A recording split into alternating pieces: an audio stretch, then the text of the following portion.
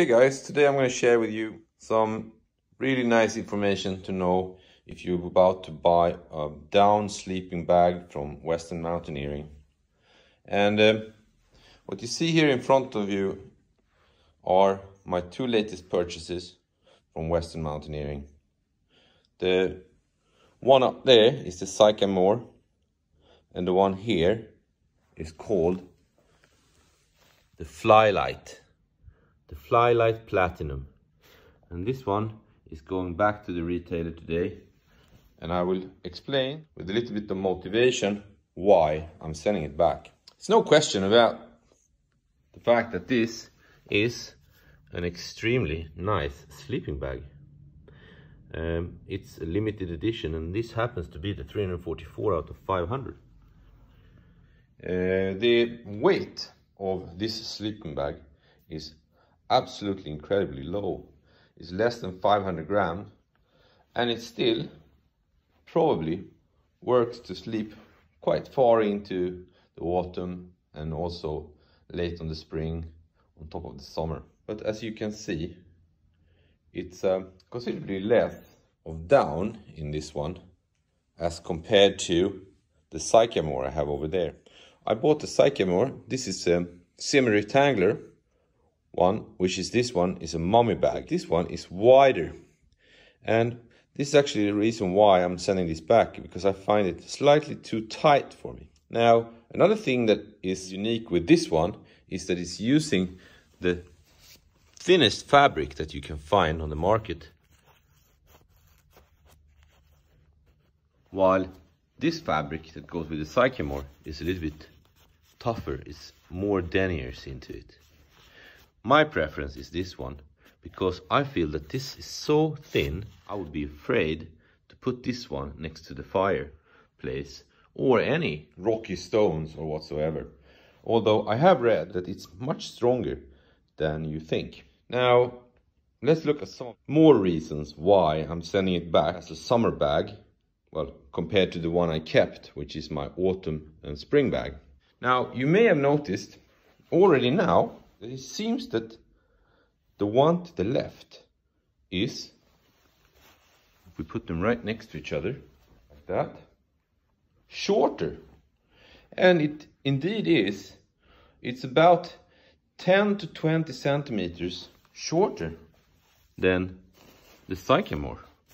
So while this one fit me perfect, and I can actually put some boots down in the bottom, over there when I'm sleeping. This one doesn't allow that.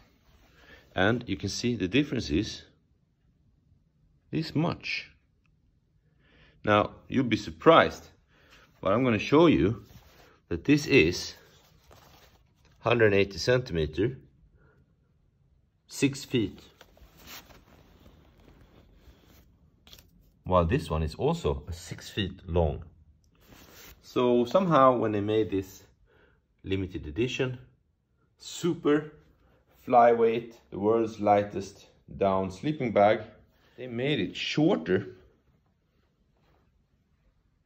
about half a foot, something like 15 to almost 20 centimeters.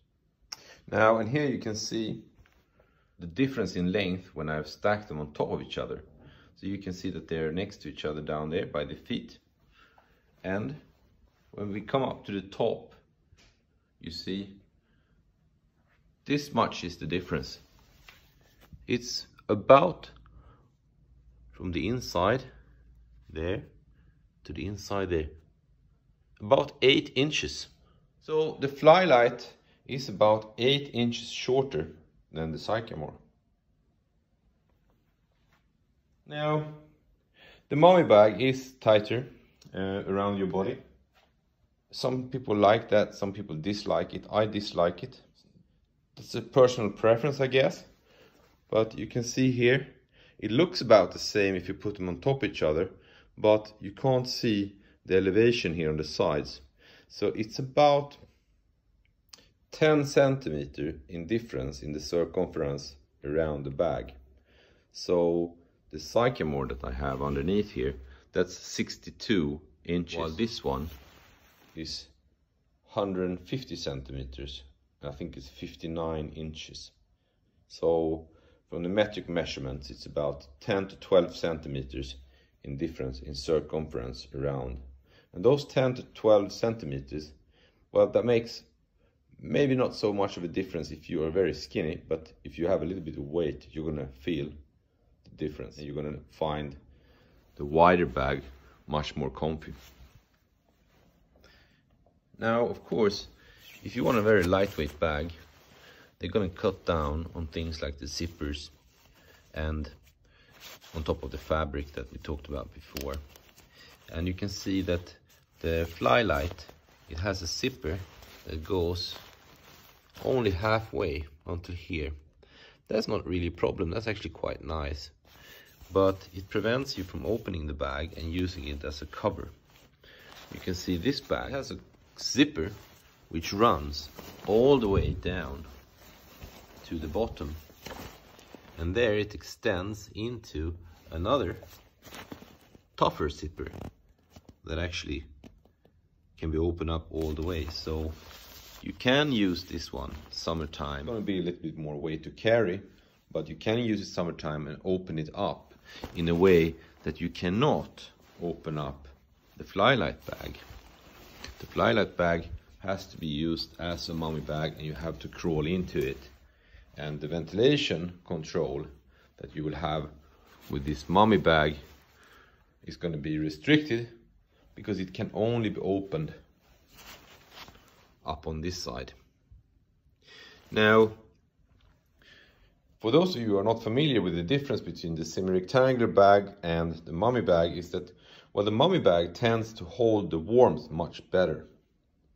So that's also one of the reasons why they decided to do this super lightweight bag as a mummy bag because you have limited amount of down in it and you need to restrict the possible movement of air to leak out from the bag. And that's actually one of the drawbacks that you have with the semi-rectangular bag and this one that I've been sleeping out with several nights now.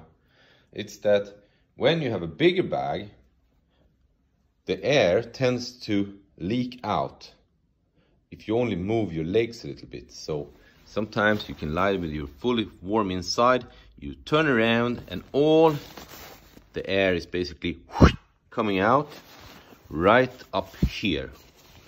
So then you have to sort of seal your head in by this draw cord here to prevent the air from leaking out. This is the same thing you have on this bag. It's also, you seal the bag around your face here to prevent air from leaking out. The warm air that is actually making you feel, well, not freeze during the night. Now, none of these bags have what I'm actually looking for is a collar. So when I'm replacing this bag, I'm sending this bag back, the Flylite. I'm gonna get the next bag or the bag that I'm actually gonna use in the future. It's gonna be a semi-rectangular bag or a wider mummy bag with a collar that's sitting here that prevents the air from leaking out so that you have you can strap the collar around your neck and you have your head positioned up here and that way you can have a warmer bag at a smaller weight. Now, should be said that this bag is 945 grams, while this one is 400 grams. So some of you may think that, oh, wow, how can you make a comparison, a 400 gram bag with a 900 gram bag? Well, that's a little bit the purpose of this video, to show you the difference, because I didn't know these differences when I bought the first Western Mountaineering bag and now I have to live with a bag without a collar and the fact that it's actually leaking out quite a lot of air up here. So when I'm sleeping with this bag and it's really cold then I make my own collar with a down jacket around my neck.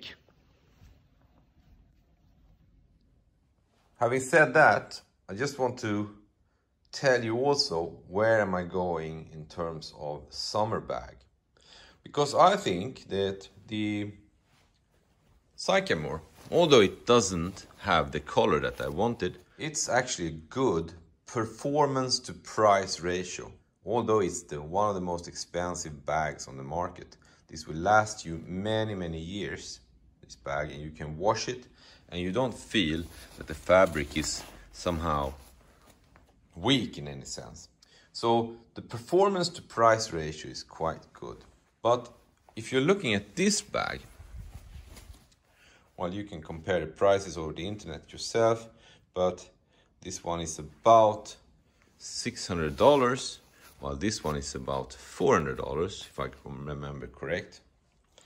For this bag, the performance in terms of keeping me warm, giving me good shelter in terms of sturdy fabric and being comfortable, the performance to price ratio is lower than for the Sycamore.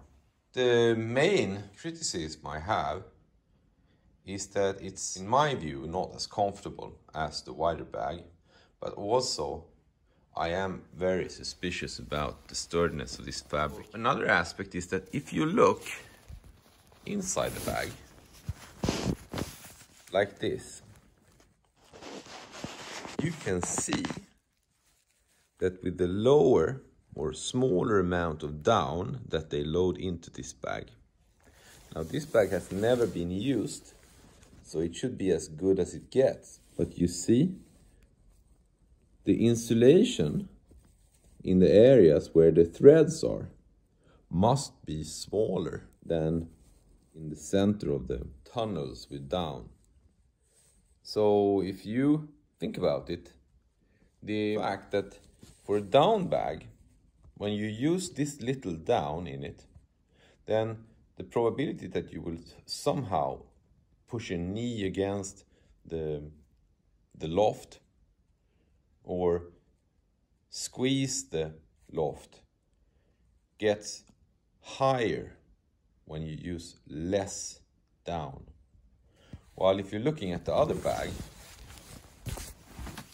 this one, you see that it's almost pitch black inside. You don't see any light coming through this fabric because it's more down. So it's maintaining the loft higher and the insulation capacity or safety margin is going to be higher when you have more down in your channels. Here you can see there's actually a lot of areas where you can lean against the fabric with your body somehow if you move around and that would be a cold spot.